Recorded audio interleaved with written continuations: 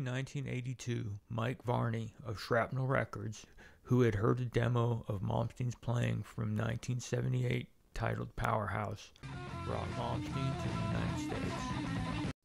He played briefly with the band Steeler on its 1983 self-titled album. He then appeared with Graham Bonnet in the band Alcatraz, playing on its 1983 debut No Parole from Rock and Roll and the 1984 live album Live Sentence. Bonnet and Malmsteen clashed out about who was the front man and had a fight during the show. Malmsteen was fired from the spot from Alcatraz and replaced by Steve Vai.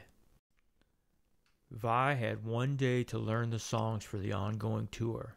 In 1984, Malmsteen released his first solo album, Rising Force, which featured Barry Barlow of Jethro Tull on drums and keyboard player Jens Johansson. His album was meant to be an instrumental side project of Alcatraz, but it ended up featuring vocals by Jeff Scott Soto, and Malmsteen left the band Alcatraz soon after the release of Rising Force.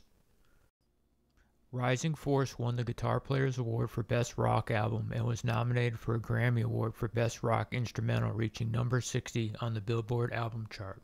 Yngwie J. Malmsteen's Rising Force and his band was thereafter known, next released Marching Out in 1985. Then he recruited Jens Johansson's brother Anders to play drums and bassist Marcel Jacob to record and tour with the band. Jacob left in the middle of the tour and was replaced by Wally Voss. Malmsteen's third album, Trilogy, featuring the vocals of Mark Boals and Malmsteen on both guitar and bass, was released in 1986. Boals left the band in the middle of the tour and was replaced by the former singer Jeff Scott Soto.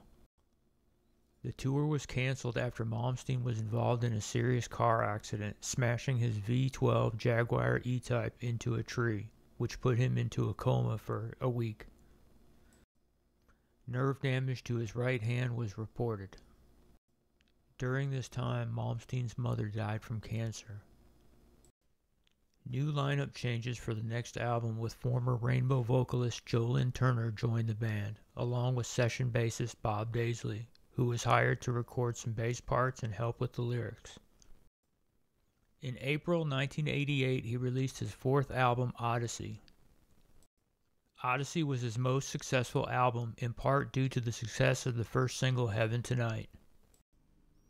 Shows in the Soviet Union during the Odyssey tour were recorded and released in 1989 as the fifth album, Trial by Fire, live in Leningrad. The classic Rising Force lineup with Malmsteen and the Johansson brothers was dissolved in 1989 when both Anders and Jens left.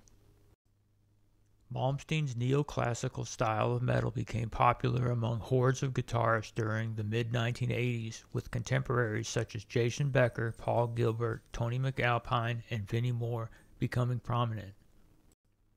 In late 1988, Malmsteen's signature Fender Stratocaster guitar was released, making him and Eric Clapton the first artists to be honored by Fender.